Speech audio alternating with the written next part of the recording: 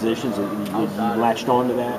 Oh yeah, definitely. Um, I think last year, you know, Coach Johnson, you know, his um, his style of play, you know, was um, kind of half court oriented, you know, um, kind of low post. And, uh, I think my game, I can do a little bit of everything. And, uh, Coach Jones coming in and uh, help me, try to help me expand my game. Um, it's going to really help our offense out. So you like the idea of playing fast, even though Oh, you're yes, a big sir. man. Well, well, how- how does that? How do you fit into that? Um, like you said, we're, we're going to be kind of small, and um, I'll probably be playing a little five. And um, me knowing how to dribble and shoot, I think you know that that'll be mismatches for most big guys, and um, with the other guards, you know, four out one in or something like that. So um, I definitely think it's going to cause mismatches on um, offensive end for other people.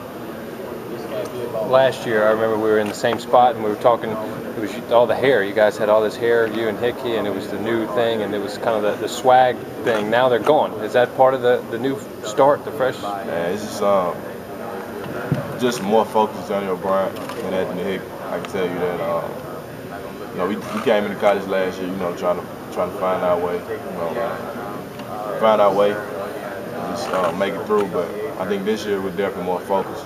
Um, but we're definitely more focused and um, ready to accept their role as leaders. So. Is it kind of weird to think that you know asked to be a leader so young and I mean, yeah, it kind of is. Um, but like you said, we, we've been we've been working for it all summer, trying to lead these guys. These, these guys definitely look up to us. We look up to them. So you know, it's gonna be great. You see yourself playing a lot more minutes this season and conditioning them for that. Oh yeah, definitely. Um, I, I I've- definitely been working a lot this summer. You know, um, lost, lost lost some pounds, gained it back, and muscle. So um, it's definitely gonna be a great year for me. So I can't wait. what do you tell a fan that would say, yeah, we're not too excited this year. We've got help coming on the way next year, and, and that's our year. So maybe discounting this season.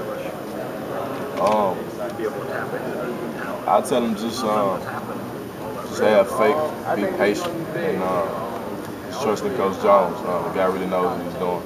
And uh, I definitely think this year we're going to shock a lot of people. So be on the lookout.